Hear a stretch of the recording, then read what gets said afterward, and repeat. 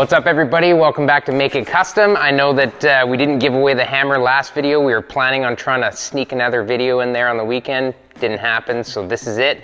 This is the hammer we're giving away. It's anybody who commented on the how to restore and refinish vintage hammers video. This is a couple of videos ago. We went through this hammer and, uh, and all my hammers and fully restored it so that it's got just a beautiful face on it. So this one is a Proto 1427 nice old school body hammer. It's called a cross peen hammer because of this here and we're gonna give it away to one of the commenters right now. I was kind of overwhelmed with comments. I don't know if uh, we're always gonna do the comment thing because it buries everybody else's comments.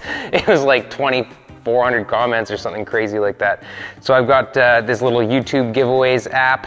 I figured it out, technology, and uh, I've got the hammer video in there. I think I just pressed go and so here it is, confirm video, start the giveaway. Oh man. Joey Chooch, Joey Chooch, this is your hammer. So, Joey Chooch, give me a shout, email me, makeitkustom at gmail.com. Shoot me an email with your information wherever you are in the world. I don't know if you're local or not, Australia, whatever, I will send you this hammer free of charge. This is for you, Joey. Thanks for watching. Now, today's video is all about curved flanges. I'm gonna do a bit of a demonstration from the bead roller versus hammer forming, pros and cons as to how to make a curved flange. There's lots of times when you need a curved flange and bead rolling works great. You'll see we'll have to kind of run it through a bunch of times, but the thing that a bead roller doesn't do is it doesn't shrink or stretch. So after you bead roll a flange, you have to shrink or stretch. As where a hammer formed flange pretty much holds it tight enough that the shrinking and the stretching of the flange happens within the hammer form. What I mean by shrinking and stretching is that say if this is our template, which it is, if we had a flange here and we wanted to bend it down, hammer form it over or bead roll it over, because the arc is going this way, it means that there's more material on that flange than there is here. So it would have to shrink to be able to complete that 90 degree turn as where if it was this way and we were hammer forming it over, because the curve is getting smaller, there's not enough material in this flange to do this bend. So as you hammer form, this will actually stretch, which is exactly what we're gonna do when we're bead rolling to try and uh, get that shrink and stretch in there as well. So I'm gonna start off by making my hammer form. I'm gonna cut out a couple pieces of sheet metal as our test pieces and, uh, and we'll hammer form it first and then we'll go to the bead roller and see how we can mimic the same part using one extra step, which is shrinking and stretching. Okay, let's do it.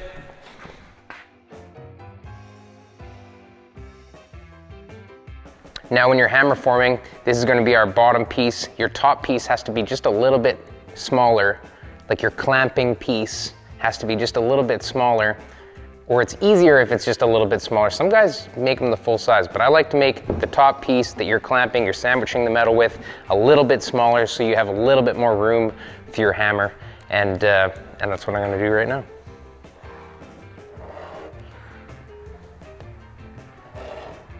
So how I'm gonna do that is I'm just going to kind of eyeball a little bit smaller, maybe like a quarter inch on each side is kind of enough. So I've got roughly a half inch gap here by where my mark is. So this is gonna be me making it a little bit smaller. Okay, so this is clamp and this is lower.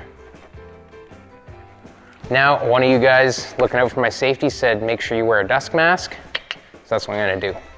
Okay, well, I didn't find my respirator, but if it's good enough for COVID, it's gonna at least do something.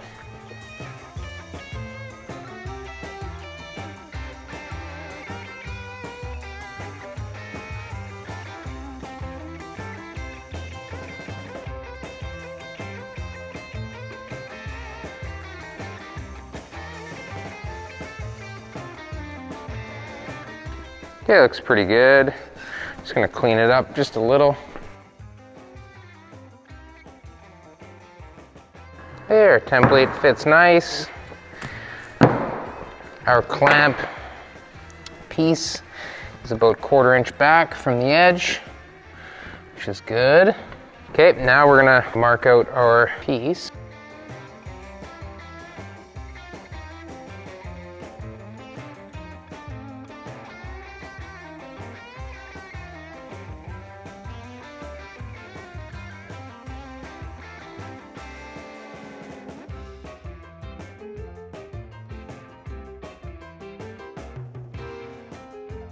I'm just kind of gonna freehand it just because it's just for demonstration's purpose.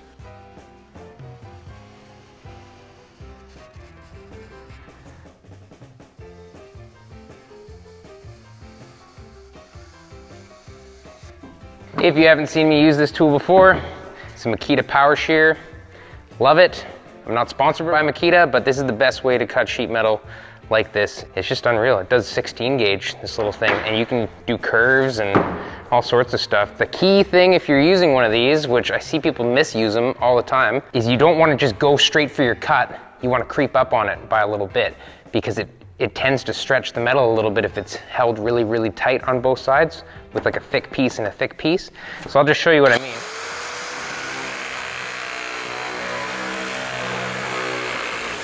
I cut close to the line and then it peels off so easy when you go at it one more time.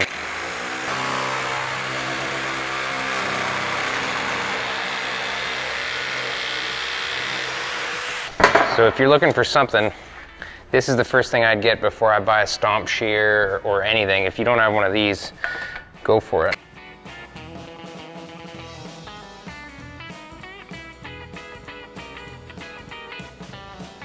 The other beautiful thing is that there's like barely any burr on that metal. Here's something I always forget to mention that uh, everybody asks me every single time, every video. what material thickness am I using? This is 18 gauge sheet metal. I use 16 gauge for usually uh, like structure, that kind of thing, floor braces, but when it comes to um, exterior sheet metal or um, stuff that is not structural, 18 gauge.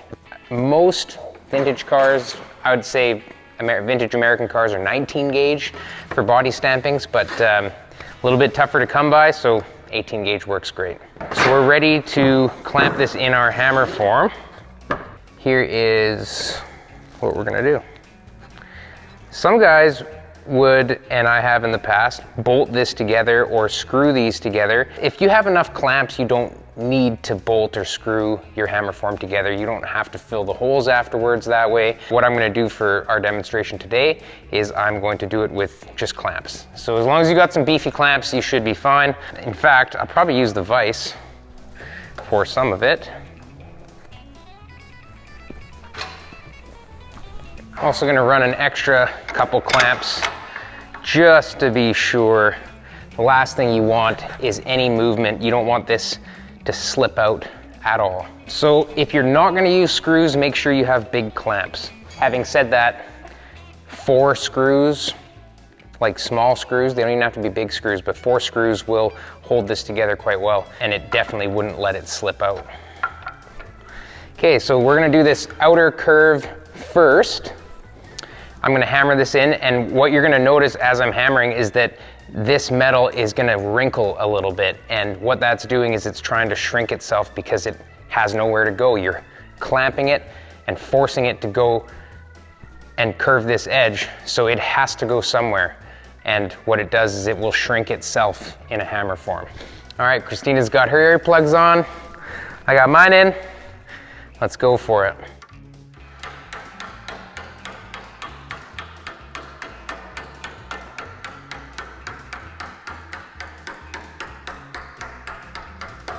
The other key thing to remember is you want to do this very slowly, very gradually. You don't want to tip this all the way over on one end and then start trying to work it. It'll just make a mess. So take your time, go all the way along, all the way along, and just keep slowly folding it over.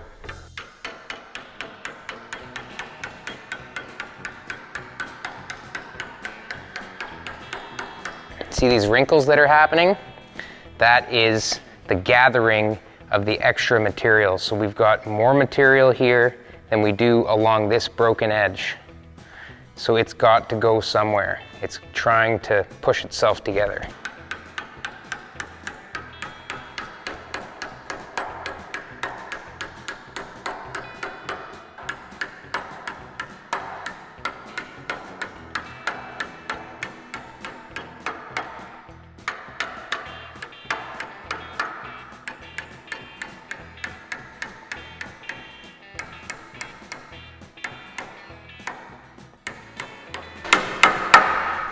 I'm trying to hit the tops of the wrinkles to try and force them together. And now, once the bottoms of the wrinkles start hitting that MDF, then we're really gonna be able to see some of that metal go together.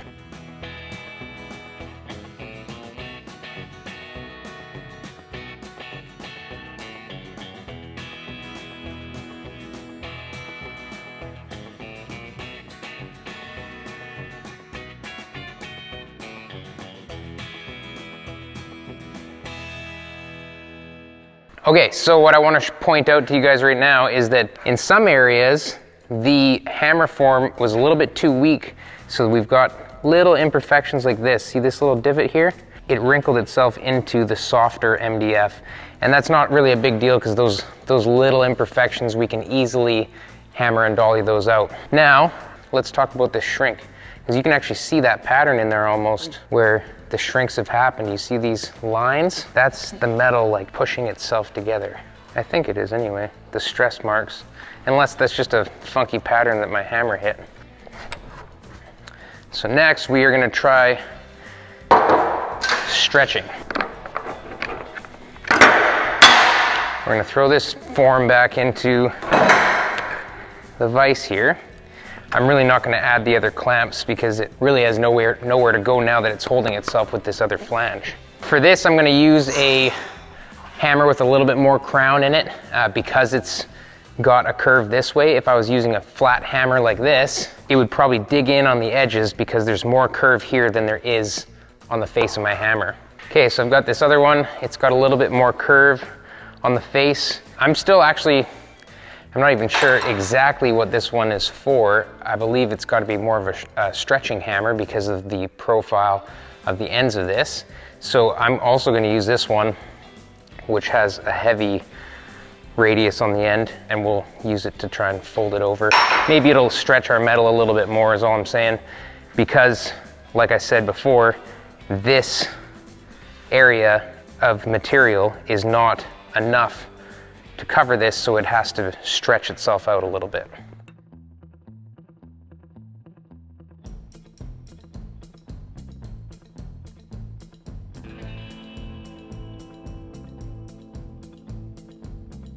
It's actually, this hammer's doing a fine job. I probably don't need that other one. But you can see how it's, it's pulling this edge tight because there's not enough material. We're not getting this wrinkle of material being pushed in because it's actually trying to pull it out a little bit. So like if I hammer on here, it's you can see it pulling.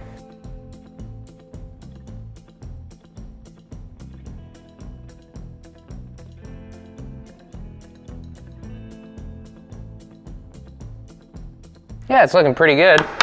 Okay, that about proves my point. All right, so clamp piece off. Look at that fit. So we've got curved flanges on both sides, inside and outside radiuses. This stayed nice and flat because of our hammer form. You can see there's a little bit tipped up on the edges. That'll happen because it's not held past that. But look at that, dead flat. We're dead flat there. We're dead flat there. That's the beauty of hammer forming. It's relatively easy to cut MDF and, and, make yourself a little clamp when you're making a little piece like this. It really didn't take that long, but it's the extra step of making the clamp. Whereas the extra step with the bead roller is shrinking that edge. Now, let's hop onto the bead roller. We're gonna try and make the exact same piece out of our other chunk of metal, but we're gonna use the bead roller instead. Okay, here we go. So, this is a tipping wheel. This top wheel when you see a top wheel that's uh, a little bit sharpened, you know, it's got a point, It's called a tipping wheel because we're trying to tip this flange. I use this wheel for a couple of different things. I also make my patterns with it. If you've seen me make scale, or not scale patterns, but the diamond tufted pattern, I'll use this with a rubber wheel on the bottom. I shaped this. It came in an Eastwood forming die set, but it was kind of, um, it was still called a tipping wheel, but it was sort of flat, like the width of this die. It was flat on the top, so I, I did sharpen it up a little bit. And then when you're tipping, some guys use a skateboard wheel on the bottom. I like to use a hard wheel sometimes. This is just the flat part of a different wheel for a different purpose, so it really doesn't matter as long as you've got the right shape you want. So as far as tipping is concerned, what we're doing is we're gonna clamp this wheel. Doesn't have to be, um, you know, insanely hard or anything. We're gonna run it through here and almost give like a little bit of a pinch. A little bit of a pinch in that corner so that our bend knows to start there. It's the easiest place for that metal to start bending because it's already got that little bit of a pinch. So I'm gonna go ahead and run it through.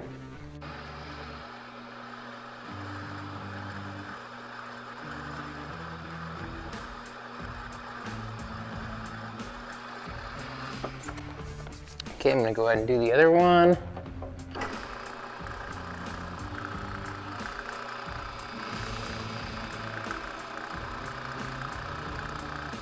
Okay, now the next step in, uh, in tipping is just to add pressure up. So we're basically just pinching it right on the corner, adding a little bit of pressure up, and it's gonna start to make our bend right along that tipped corner. So I'm just adding pressure up.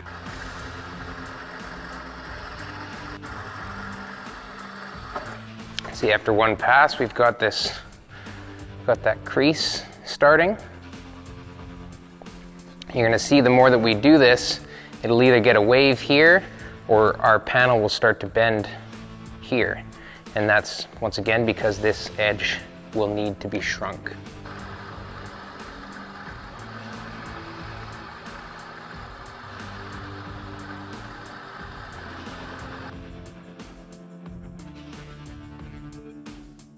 Okay, so you see where we're at now. Like I said, the uh, it was either gonna make this wavy or it was gonna put a curve in our main panel. Look at how much curve it's already put in there. We're only at about a 45 degree tip and, uh, and, it's, and it's already distorted our panel that much because of how much shrink it needs here. So at this time, it's getting a little bit harder to continue tipping this edge up because it's forcing into this panel. So I'm gonna relieve this by shrinking it.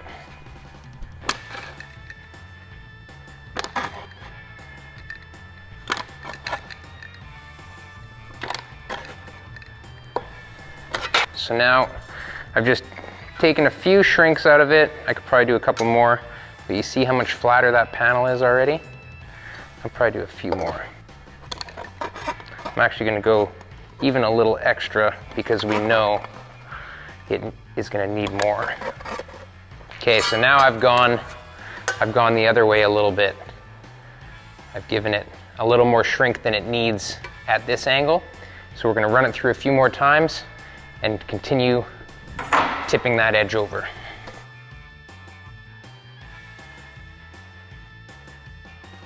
All right, so we went through a few more times. We're almost at 90, but there is a bit of a limitation on my die here because it's got a bevel on both sides. I can't quite tip it all the way up, so I'm gonna finish this off with a just a hammer and a dolly and get the, the tip all the way to 90. Right now it's probably at 80 degrees or something, but you can see that uh, we went, you know, overboard with the shrinker, kind of pre-shrunk some of our flange. Now we're back to needing even more shrinking. It's already curved itself again. So there is quite a bit of shrinking that does happen in a flange on an outside radius like that. So I'm gonna go ahead and shrink her up.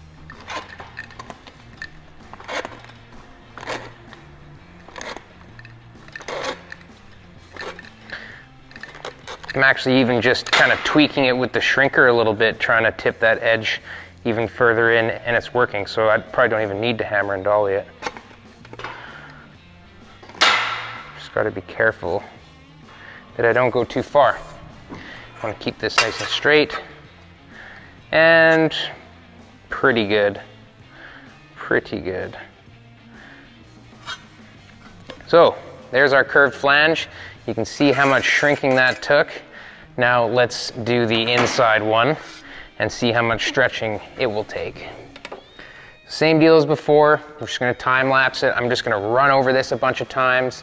I'm gonna jump on the stretcher, do that, and just work at it until we get the same result as this side.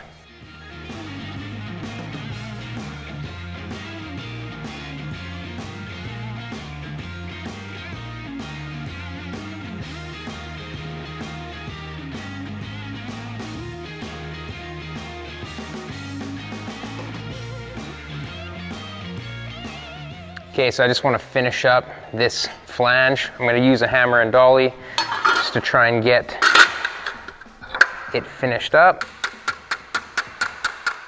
Excuse the condition of my dolly. It is very stained.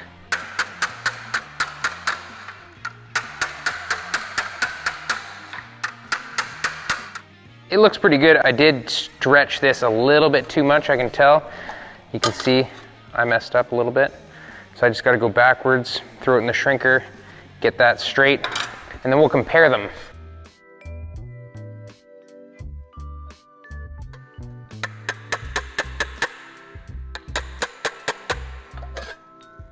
All right, so fresh off the bead roller and the stretcher shrinker, this is our bead rolled piece. Come have a look at the edges. This is the real difference to me, is that you've got to do a bunch of shrinking on the edges, it's a little bit difficult to continue controlling that panel while you're while you're shrinking, but it can be done. I mean, it, it absolutely can be done and it doesn't take a whole lot of time. We could make this flange nicer by um, just using one of our polished hammers and a dolly and we could go over it and we could make it beautiful. We could sand it, we could absolutely make it beautiful. So there's no real right or wrong either way. Uh, some guys don't have a bead roller. Hammer forming is a great way to make something like this. I personally prefer to hammer form when I can because it just creates a flatter piece. Like this, this piece came out of the form, you saw it, it was dead flat, no messing around. So a little bit of uh, hammer forming in a panel like this, I think is, uh, is the way to go. But regardless, both ways work tremendously. They, they're both the exact same piece. There's nothing different about them other than the way they were made. So that is my two cents on tipped flanging bead roller versus hammer forming.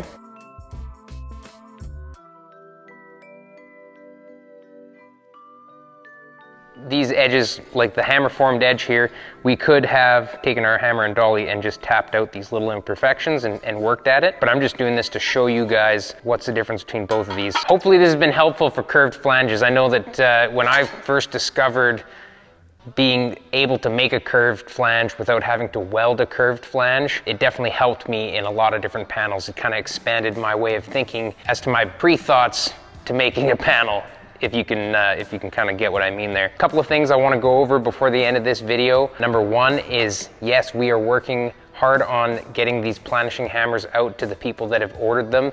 Our planishing hammers have been delayed for quite some time. It's, you know, material shortages, delayed shipping time for COVID. There's no real excuse. I mean, I, I kind of take responsibility for these being late. It's unfortunate, but uh, that's where we're at. We are seeing our pieces all coming through the machine shop right now. I've just been messaged and updated that uh, you know half of our dies have been done. There's 650 of them on this run. So as you can imagine, it takes a lot of time. We're kind of at the mercy of our heat treaters as well.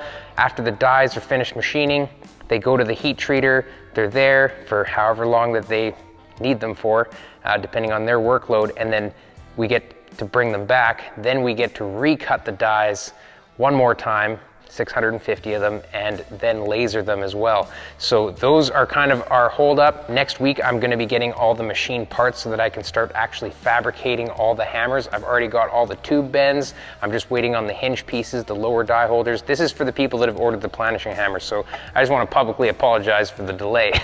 you've all received an email already if you've purchased a hammer. The other thing that's coming up next week, and uh, we've had some delays as well. The website has been out of stock on some t-shirts, some hoodies, all that is restocked as of this coming weekend. We are having a Black Friday sale. You know, everybody does one and we appreciate you guys. So all of our merch is 20% off. The hammers themselves will be 10% off. So if you guys want to get in on some deals, this weekend's the weekend to do it. Congratulations again to uh, Joey Chooch for winning the hammer. I'm going to send that out to you right away. And everybody have a great week.